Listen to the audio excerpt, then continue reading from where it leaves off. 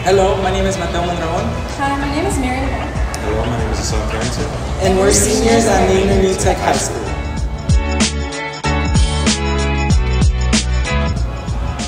Um, my plans after graduating is I want to intern for Samsung and I'm going to go to ACC um, in the fall uh, to learn how to become an electrical technician.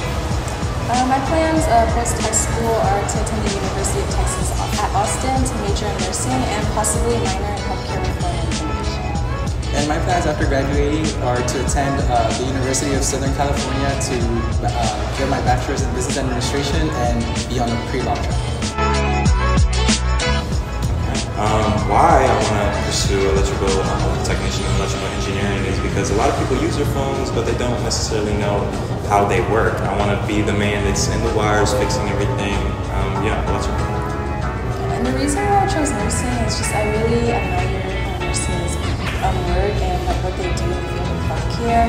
I was originally uh, pre-med, but I went to a camp last summer at the medical school at UT Austin, and I got to really interact with the nurses. And again, I really admire what they do and the hands-on stuff that. Um, like they work with patients and everything, so I really like that.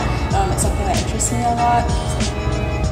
Um, the reason I want to get my BA and be on a pre-law track is just because I've always dreamed of myself becoming a business owner someday. Um, but also I've grown really fond of politics and legislation, so I know I want to do something in that field as well. And in the future, my long-term plans are to uh, start my own law firm, so that kind of goes both ways into law, but also building my own uh, business of some sort. Some advice I would give to just underclassmen or younger students like me are to not take anybody like anybody's opinions into account or let them influence like your future plans. Just because I know for myself, it's just like fellow peers telling me, oh, like don't do nursing at UT because it's a hard program to get into, or just like really giving me like negative energy or vibes. So I really say don't take that into account because it's not going to matter now. It's not going to matter in like 10 years. So really do what you want to do, and if you really put your mind and like effort into it, my advice to, I guess, the younger class, um, be who you want to be. Um, don't try to be somebody you're not. It's way easier being yourself than trying to mimic somebody else. Um, be true to yourself.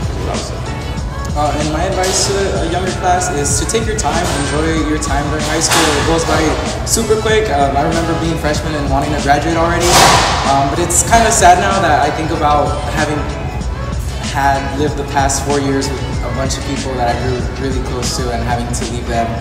So just take your time, enjoy the memories you create. You have a long life ahead of y'all, so just enjoy it. We are the class of 23, and we are the best graduating class of Manor ISD.